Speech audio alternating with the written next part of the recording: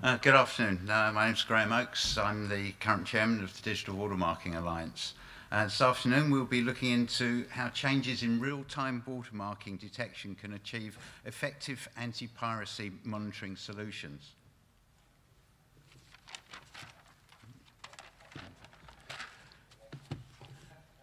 Over-the-top video distribution has made the world of media piracy a very profitable place to be. Unfortunately, this is not necessarily the case for legitimate content owners and their distribu distribution channel partners. With the release window shrinking, pirates have access to high-res video far earlier. This and the continued rise in the popularity of stream media has left the industry with the question. What is my strategy going to be to combat video piracy? The adage, you can't monetize what you can't identify, still holds true and is in fact the crux of the issue.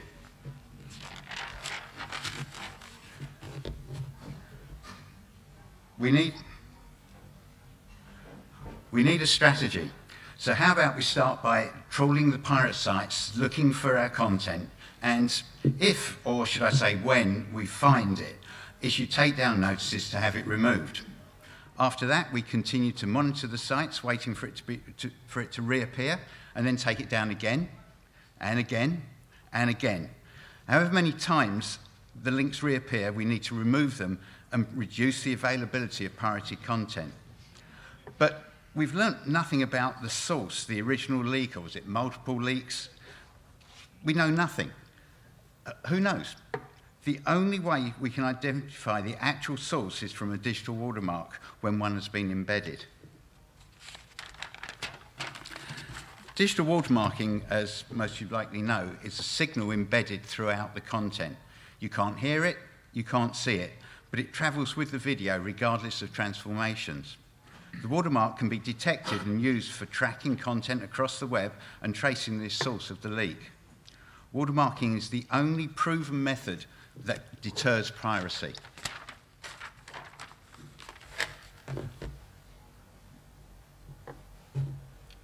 Watermarks are used everywhere in the production cycle. Watermarking has been used since 2007 for digital cinema. Movie Labs has mandated watermarking for 4K UHD content. They're extensively used for production screeners, set-top boxes, and over-the-top TV deliveries.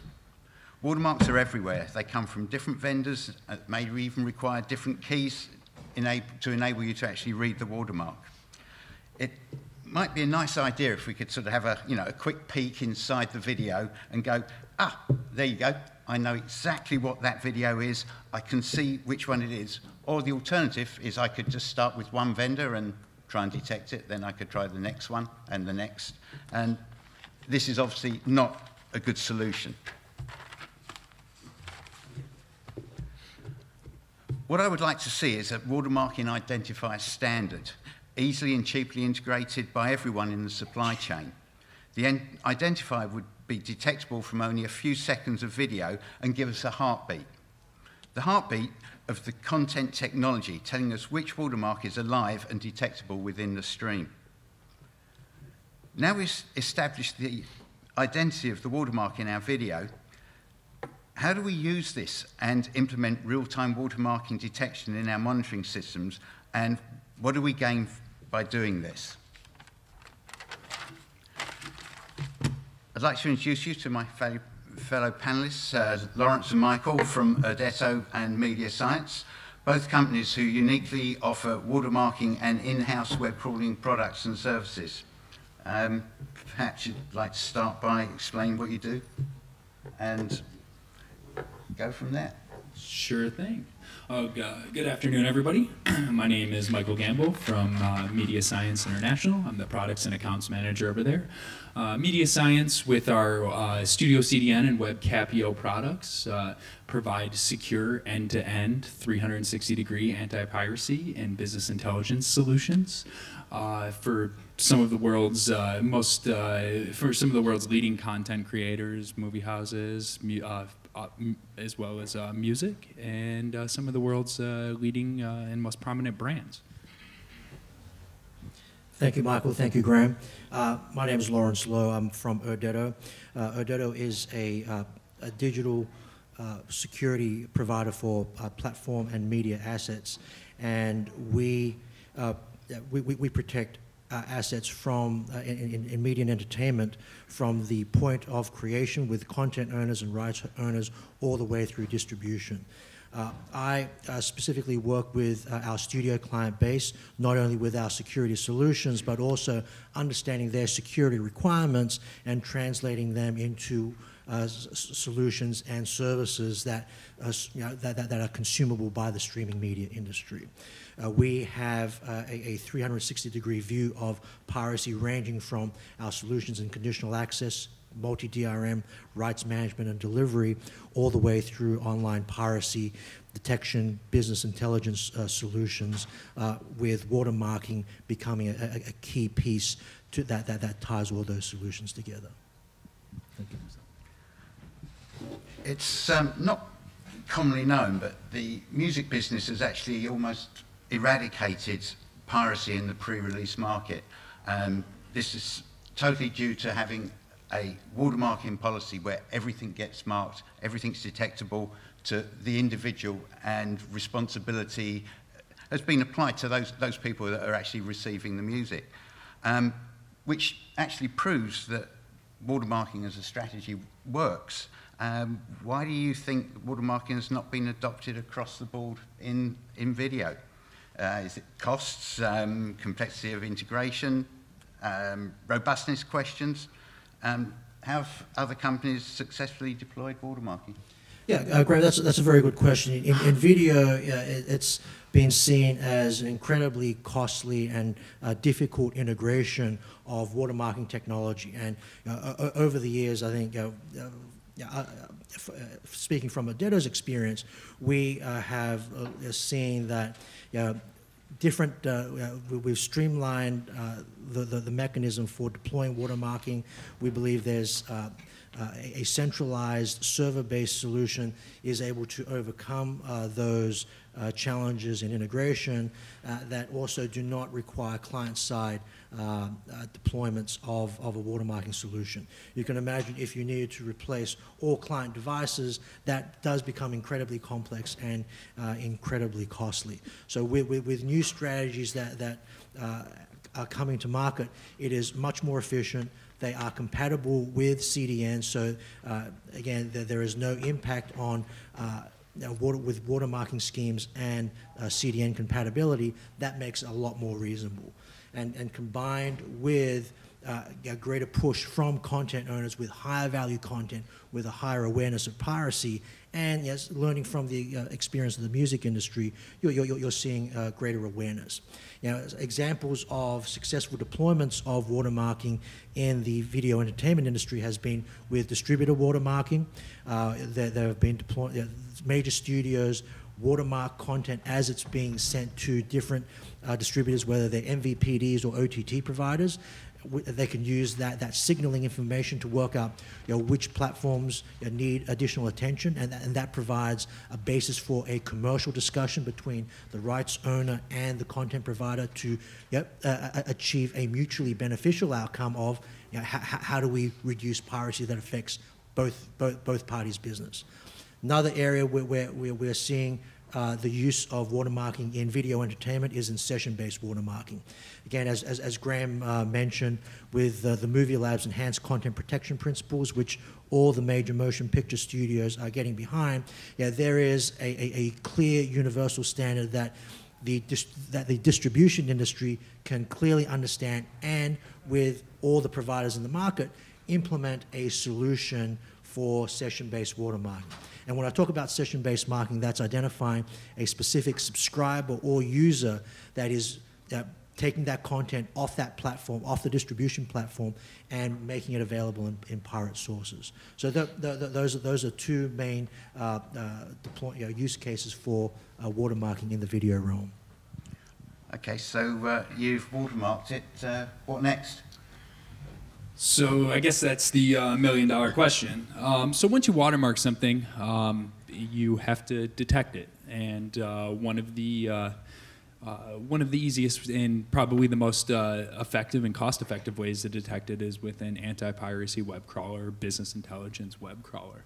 Um, you need uh, you need a, a, web crawler for multiple different reasons, but I guess just the top level is, uh, you know, a um, you need you need it from a piracy standpoint. You got to make sure that you can not only detect uh, the content that you're trying to um, remove, uh, but you also need to remove it. So you need to have an automated solution to uh, in which to do that.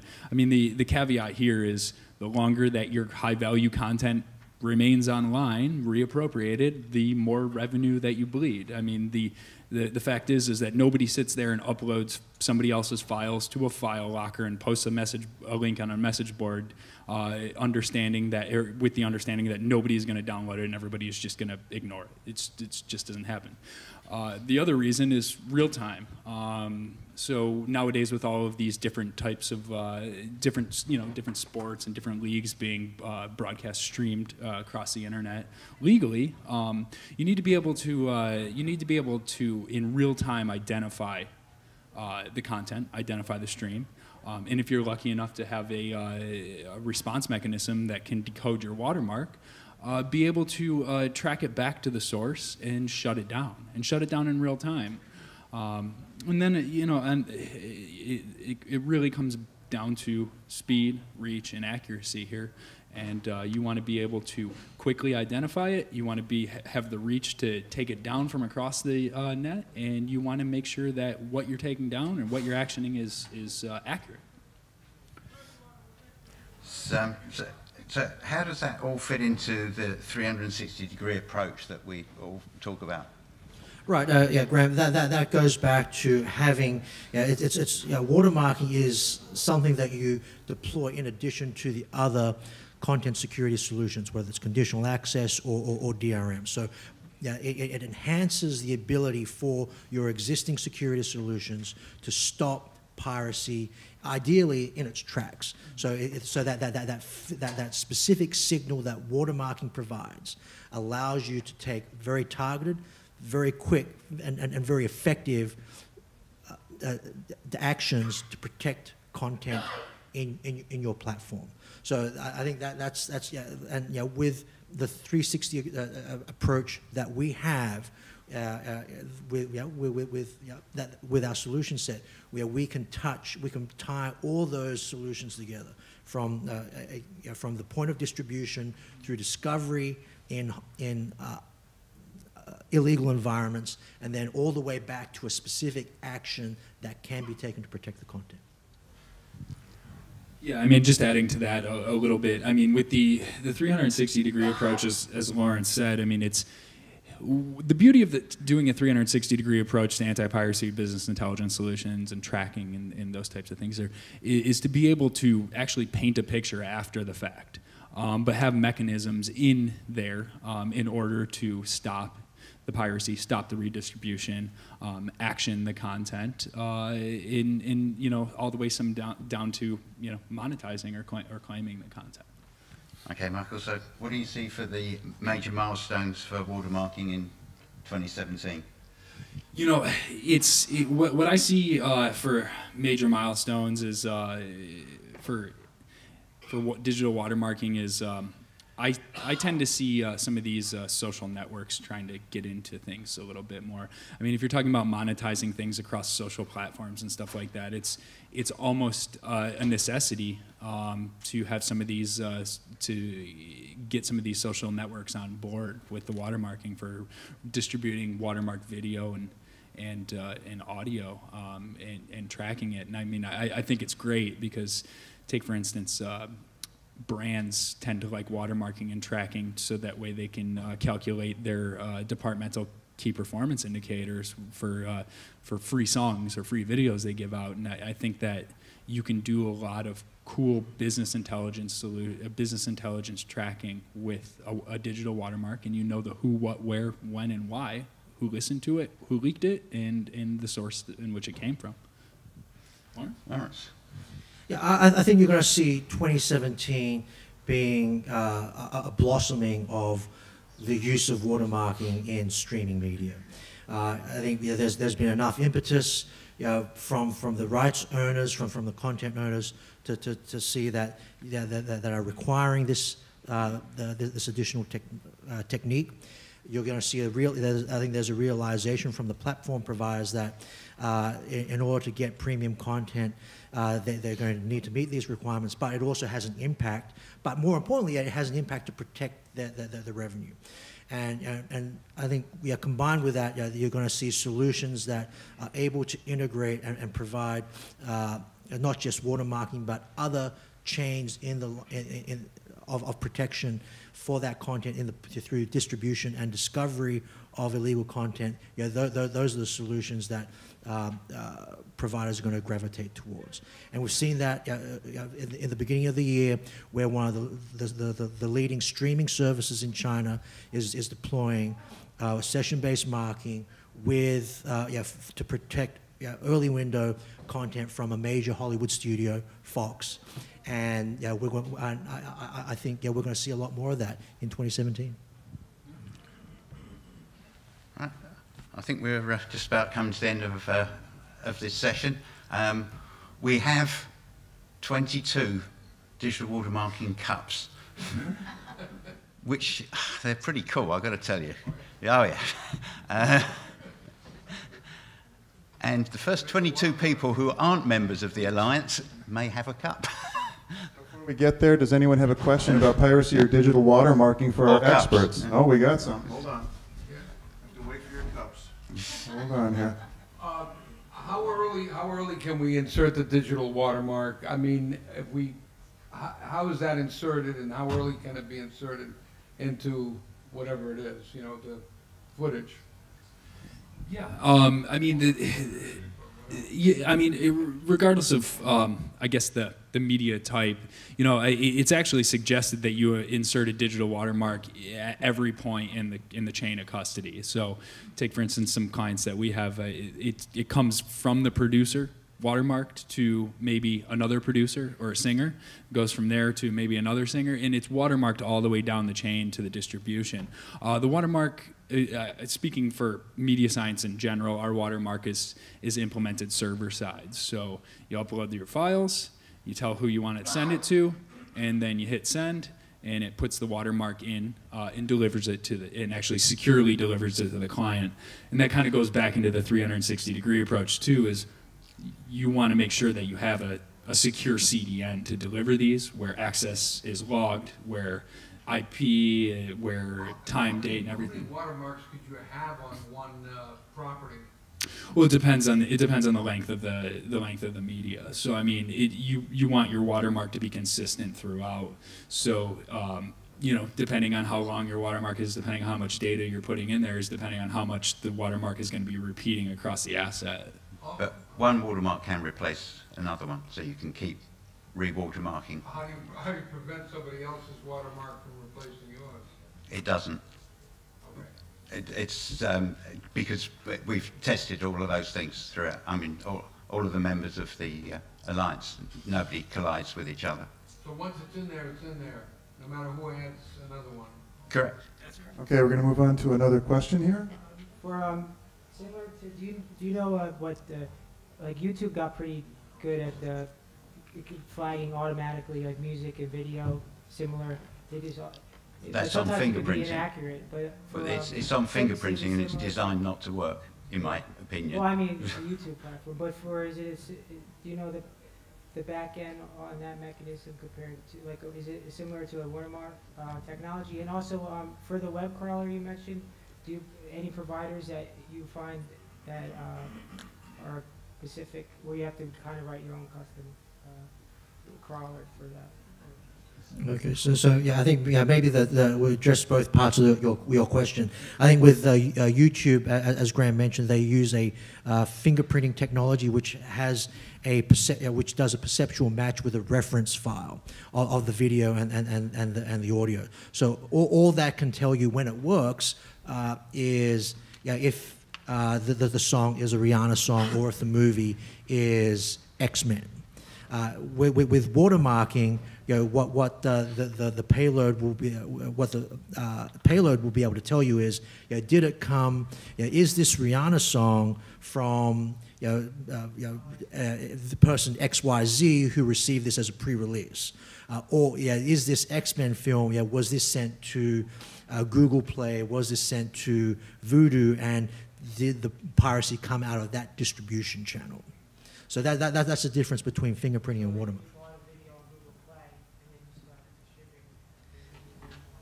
Uh, exactly, and, and, that, and that, that's what I meant by you know, session-based watermarking becoming deployed yeah, for early window of premium content. Uh, so, and then yeah, on, on the second part of your question with respect to uh, uh, web, web crawling, again, you know, you, you're looking for a web crawling provider that can address you know, all the major piracy platforms, whether it's P2P, uh, you know, web, you know, web, web type uh, threats such as uh, uh, streaming, on-demand streaming sites like YouTube and Dailymotion, uh, or direct download sites, so, so the, the so-called locker sites. And then you also have the live redistribution sites that take a, a linear stream from an OTT or an MVPD source and, and, and- streams it live uh, on you know, to, to any IP connected player. Okay, we're gonna, if anybody has any more uh, questions for them, they'll be taking them afterwards. For now, we're gonna wrap it up, so a little applause for Graham, Lawrence, and Michael. Thank you, everybody. Good job, guys.